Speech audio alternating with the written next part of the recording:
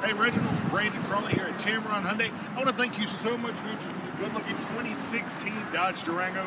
This is the limited package. It's got the leather, the heated seats, the backup camera, the navigation, the power tailgate, brand new tires on it, low miles. It's got everything you want in your next vehicle, except it's sitting right here instead of in your driveway.